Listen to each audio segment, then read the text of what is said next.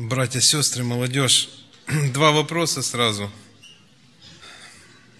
Давать ли подаянием просящим, учитывая то, что зачастую используют эти финансы для выпивки или в подобном роде, а нередко это всего лишь бизнес.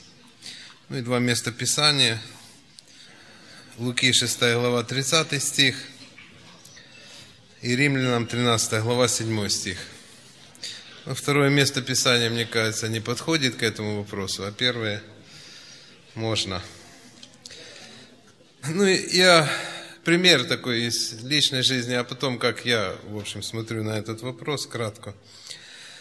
Я э, раньше еще, может быть, лет 15 назад, там у нас город Килия есть, это районный центр, мы ездили туда с библиотечным служением, ну я в частности ездил, и однажды подошел к человеку ко мне и начал просить. Я с ним когда поговорил, я узнал, что он еврей. И я расположился к нему, я узнал его, хорошо пообщался с ним. Он говорит, это я на продукты. Хотя я вижу, что он, как здесь написано, для выпивки, такой.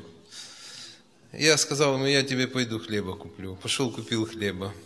Потом постоянно он приходил, и я ему всегда привозил. Привозил то, что сами мы готовили, и тортик ставил туда, и все. Каждое воскресенье, там воскресенье была библиотека, я всегда приезжал, привозил ему, он всегда приходил. Однажды я приехал, его нету.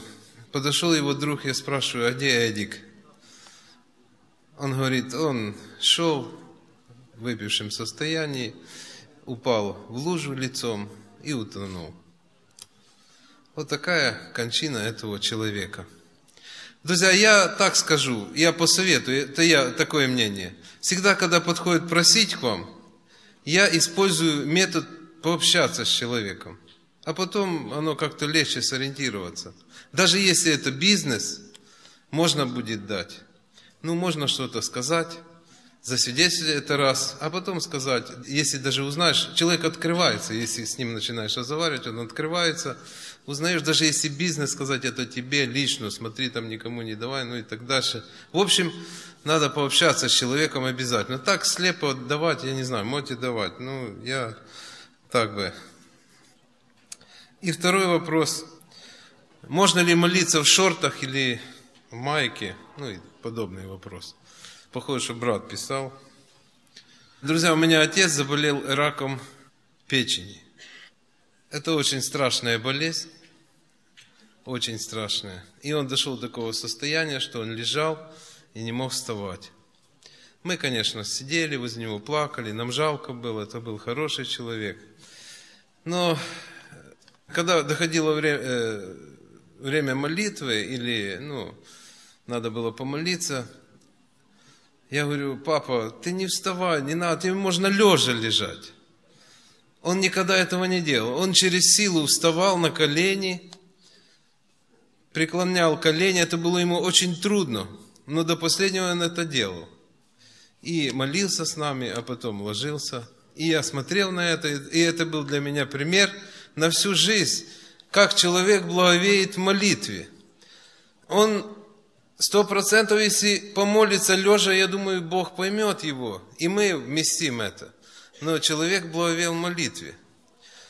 Если вы знаете, был такой э, брат, член Совета Церквей, Батурин Николай Георгиевич. И я слышал за него такое свидетельство – он был очень большой молитвенник в братстве. И когда он ночью просыпался, он всегда вставал, одевал рубашку, застегивал рубашку возле горла, и шел умывался, приводил себя в порядок, становился на колени и молился об успехе, благовестии и других вопросах. Потом, когда помолился, он раздевался и ложился спать. Друзья, это был человек веры. И когда еще многие наши братья и сестры со страхом не могли выйти на проповедь Евангелия, он уже свидетельствовал, что уже можно выходить, уже свобода, ему Бог открывал это, потому что он был молитвенник и в таком состоянии молился. Друзья, я не буду отвечать, можно молиться в шортах или в майке, я думаю, понятно. Друзья, если мы благовеем, то надо молиться благовением.